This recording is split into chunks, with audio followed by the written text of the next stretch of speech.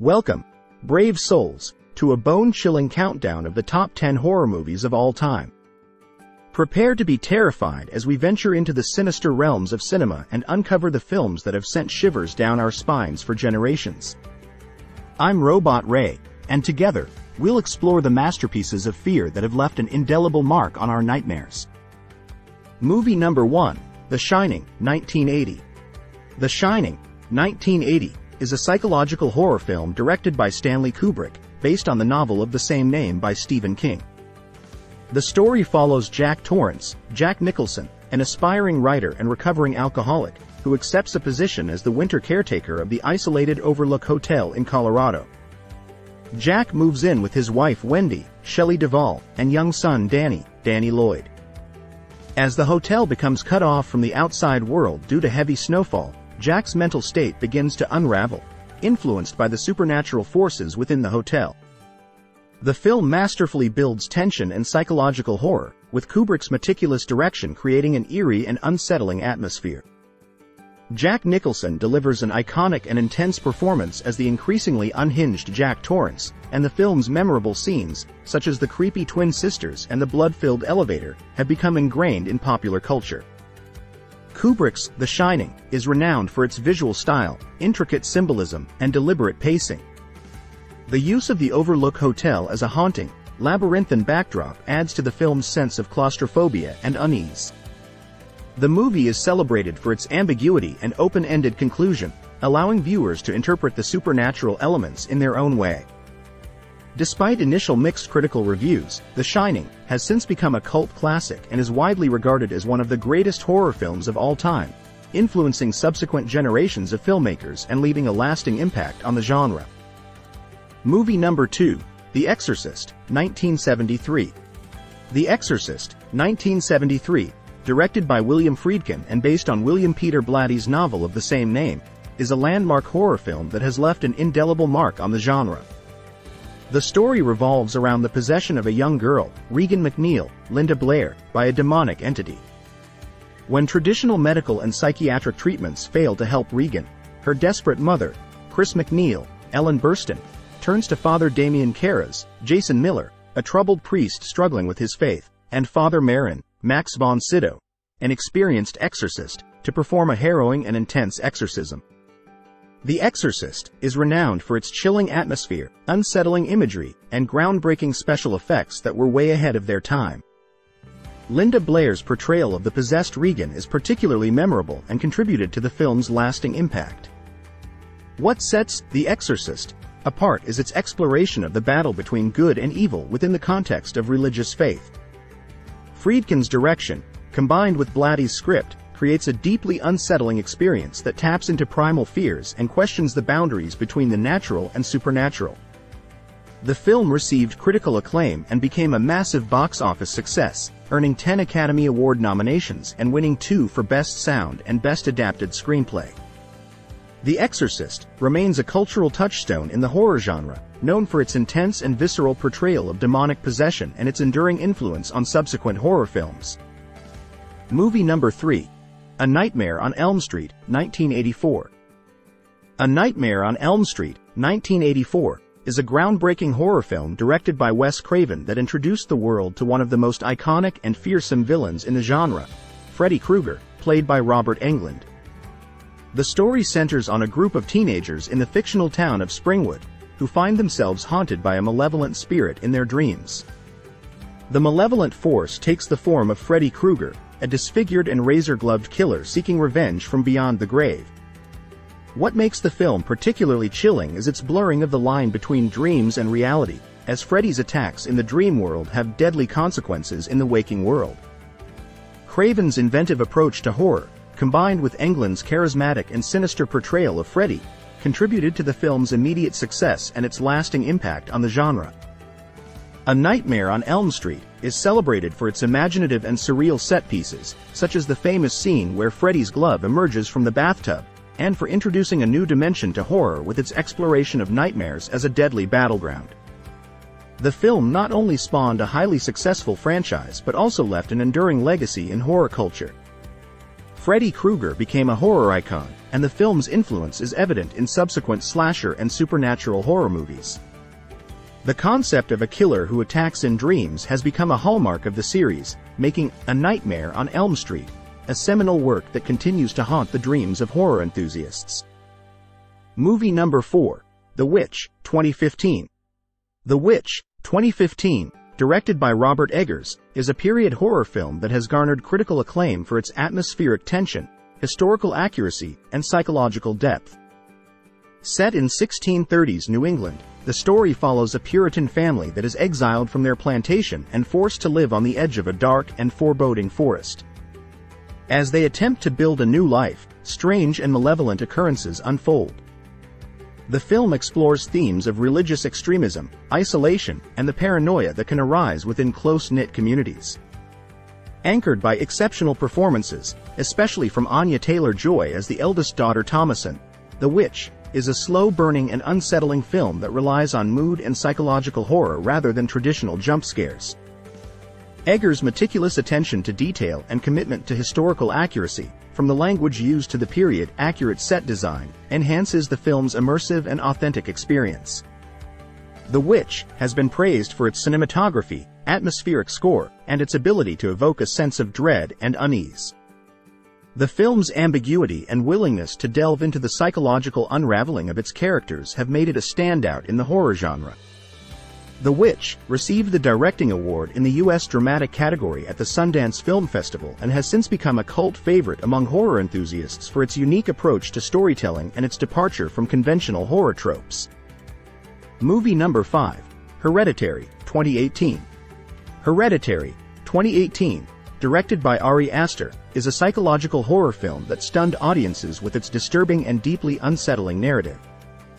The story revolves around the Graham family, who grapple with dark and mysterious forces following the death of their secretive grandmother. As the family unravels the sinister secrets of their ancestry, a malevolent supernatural presence begins to wreak havoc on their lives. The film is known for its slow and atmospheric build-up, intense family dynamics, and a series of shocking and traumatic events that culminate in a nightmarish climax. Toni Collette's powerhouse performance as Annie Graham, the family matriarch, earned widespread acclaim and added to the film's visceral impact. Aster's directorial debut is lauded for its intricate storytelling, intricate symbolism, and its ability to elicit genuine terror. Hereditary received praise for its emphasis on psychological horror, as well as its unflinching exploration of grief, trauma, and the breakdown of familial bonds. The film's disturbing visuals, along with its skillful use of sound and music, contribute to a sense of dread that lingers long after the credits roll. Hereditary is often cited as one of the most effective and chilling horror films of its time, earning a reputation for pushing the boundaries of the genre and leaving a lasting impact on audiences with its nightmarish and unforgettable imagery. Movie number 6, The Conjuring, 2013. The Conjuring, 2013, directed by James Wan, is a supernatural horror film that revitalized the haunted house subgenre and became the cornerstone of a successful cinematic universe.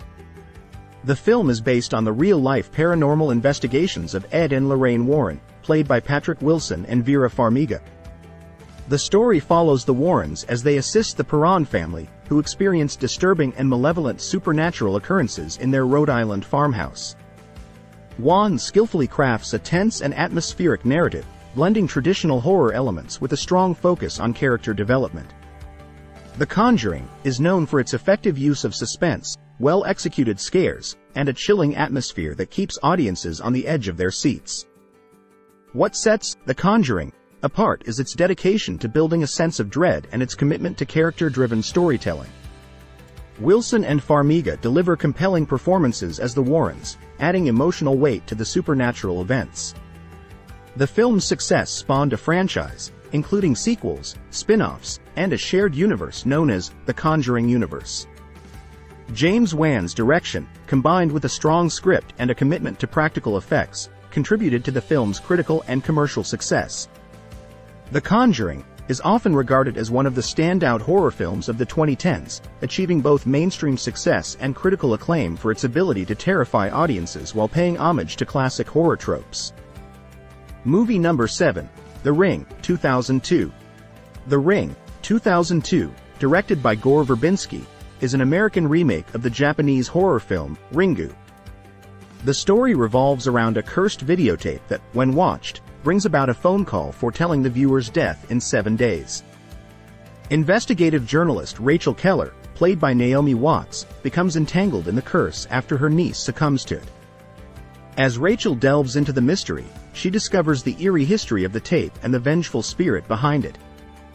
The Ring is praised for its atmospheric tension, chilling visuals, and effective use of supernatural elements, creating an unsettling experience that resonated with audiences and became a significant influence on the horror genre.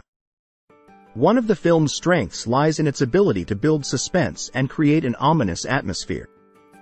Verbinski employs a sense of visual and auditory unease, combining haunting imagery with a foreboding score. Naomi Watts delivers a compelling performance, conveying a mix of fear and determination as she races against time to unravel the mystery. The Ring played a crucial role in popularizing Asian horror remakes in Hollywood and contributed to a trend of supernatural horror films in the early 2000s. Its impact is evident in the lasting influence on the horror genre, and the film remains a memorable and chilling entry in the pantheon of horror classics. Movie number 8, The Omen, 1976. The Omen, 1976, directed by Richard Donner, is a classic supernatural horror film that became a seminal work in the demonic child subgenre. The story follows an American ambassador, played by Gregory Peck, and his wife, played by Lee Remick, who unknowingly adopt a malevolent child named Damien after their own newborn dies.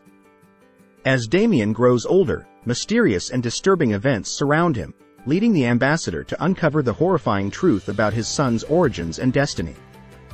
The Omen is renowned for its ominous atmosphere, chilling score by Jerry Goldsmith, and its exploration of religious themes, particularly the concept of the Antichrist.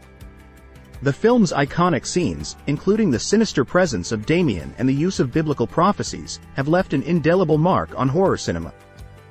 One of the film's strengths lies in its ability to create a pervasive sense of dread, enhanced by Donner's skillful direction and the haunting musical score.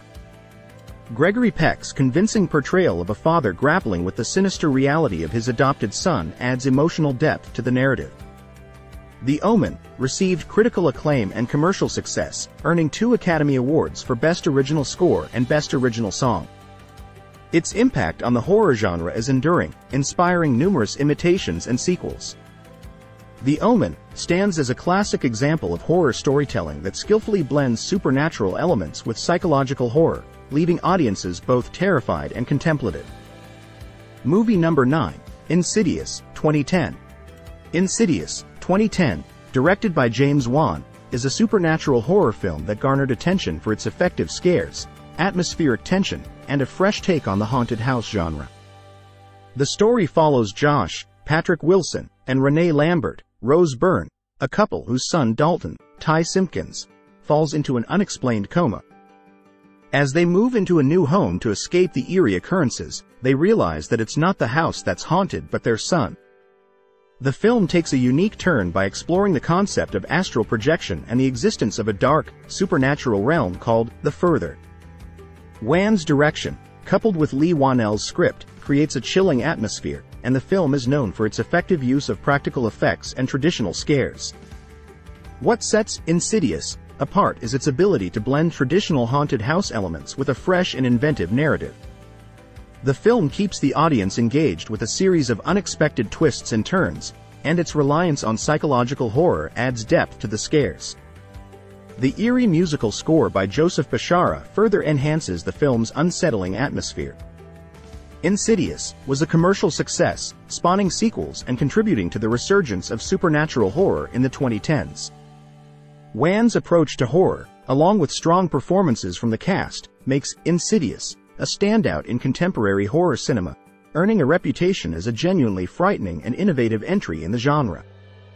Movie number 10, The Grudge, 2004. The Grudge, 2004, directed by Takashi Shimizu, is a Japanese horror film that gained international acclaim and was later remade for American audiences.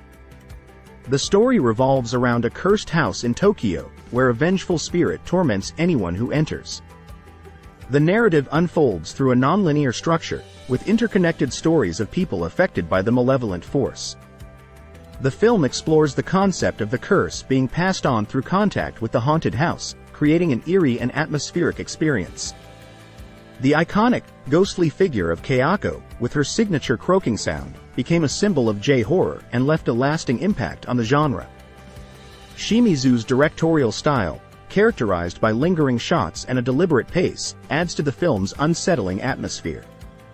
The Grudge stands out for its psychological horror elements, relying on a sense of impending doom and the inescapable nature of the curse. The success of the film led to an American remake in 2004, starring Sarah Michelle Gellar, which introduced the eerie tale to a wider global audience. Both versions of The Grudge are celebrated for their effective scares, chilling atmosphere, and the enduring legacy of their supernatural antagonist, making it a noteworthy entry in the realm of international horror cinema. And there you have it, Brave Souls, the top 10 horror movies of all time. These films have tested our courage, pushed the boundaries of fear, and left an indelible mark on the genre. Whether you prefer the classics or the contemporary nightmares, these movies have shaped the landscape of horror cinema. Join us next time as we continue to explore the terrifying depths of the unknown. If you found this video fascinating and informative, don't forget to give it a thumbs up and subscribe to Robot Ray channel for more incredible explorations. Thanks for watching, and until next time, keep on exploring.